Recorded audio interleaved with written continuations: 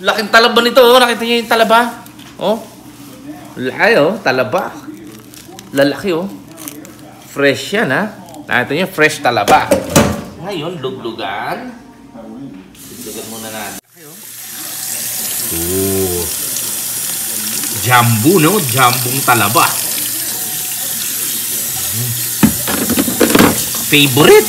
Oh? Favorite, oh. Oh, tignan nyo naman, oh. Fresh na fresh. Ito na, binuhos ko na.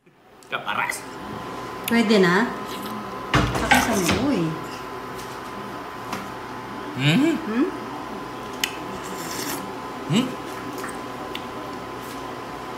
Yan, nakaisa na si DJ Box, oh. Oh, maalat-alat, madir kang yaman. Yan. Nakaisa na siyang talaba, ah. Kaisa na akong talaba. Kaya try ko. Green talaga yung yung shell. Yep.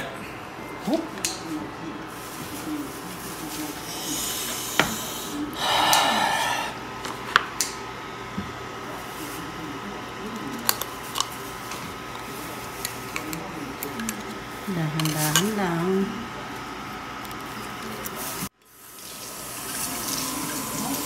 Uy, nakakatakot ang itsura. Sa'yo na yan, pass muna ako. Tignan nyo yun, guys. So, ganito ang pagluluto ng talaba. Huwag yung pakakaluto. Kasi pag pinakaluto nyo, hindi na siya masarap, no? So, lagyan nyo ng ganyan, no? Suka.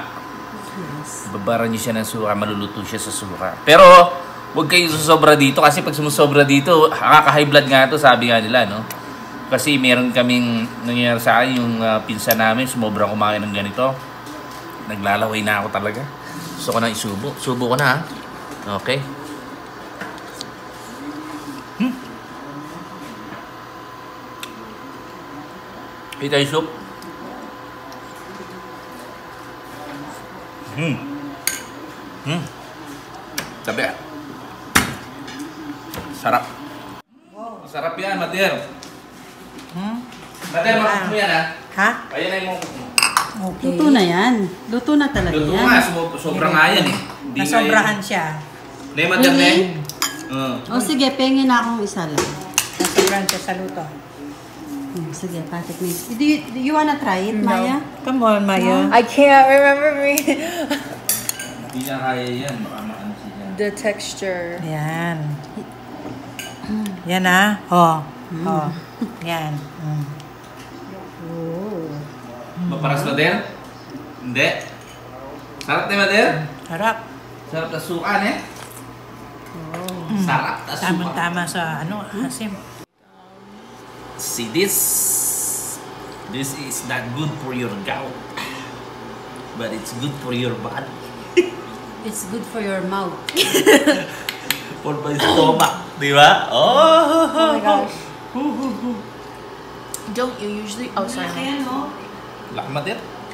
Dang. What? Buenas tayo ngayon. Where did you get the oyster? Hmm?